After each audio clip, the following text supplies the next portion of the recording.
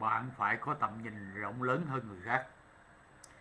Thì uh, có một câu nói này các bạn. Người ăn mày đó có thể là không ghen tức với người tỷ phú giàu có.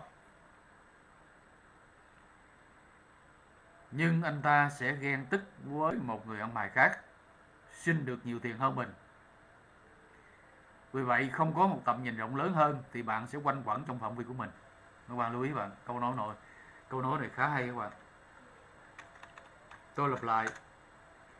Một người ăn mày có thể sẽ không ghen tức với ông tỷ phú giàu có.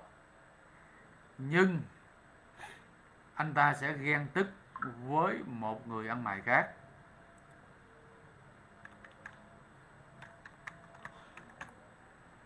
Xin được nhiều tiền hơn mình. Vì vậy, nếu không có một tầm nhìn rộng lớn hơn thì bạn sẽ quanh quẩn trong phạm vi của mình. Thì uh, điều này nói là gì các bạn?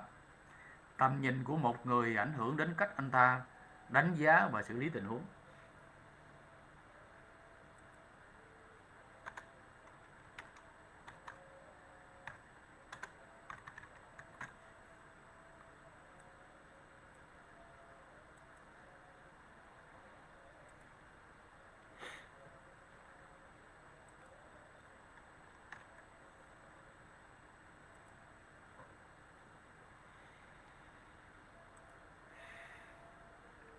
Nếu một người ăn mày không có tầm nhìn rộng, anh ta có thể chỉ tập trung vào việc so sánh với người khác trong một tình huống hoặc tình huống mà ông ta mong muốn.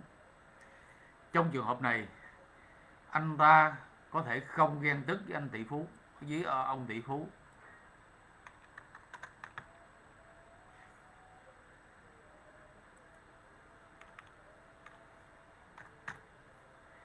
vì anh ta không có tầm nhìn rộng hơn, anh ta chỉ quan tâm đến việc so sánh người khác trong cùng một tình huống với mình.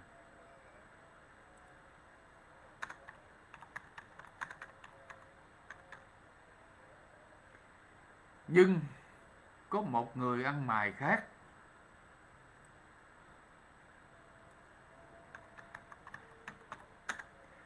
xin được nhiều tiền hơn mình. Anh ta ghen tức vì không thể so sánh và cảm thấy bất lợi trong tình huống đó.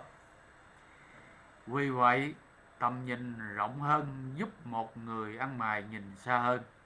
Đánh giá tuần tình huống một cách toàn diện và không bị hạn chế bởi những so sánh hẹp hòi. Điều này sẽ giúp họ phát triển và tiến xa hơn trong cuộc sống. Tương tự chúng ta cũng vậy các bạn. Nghĩa là chúng ta phải vượt qua khỏi cái giới hạn bản thân mình. Các bạn phải vượt qua khỏi vùng an toàn của mình. Bạn phải vượt qua khỏi lũy che làng, vượt phủ môn thì cuộc sống chúng ta mới tốt được các bạn. Và có một câu nói là hãy luôn luôn làm mới mới mình.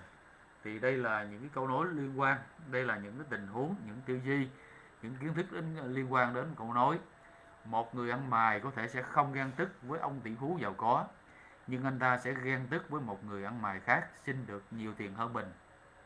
Không có tầm một tầm nhìn rộng lớn, thì bạn sẽ quanh quẩn trong phạm vi của mình.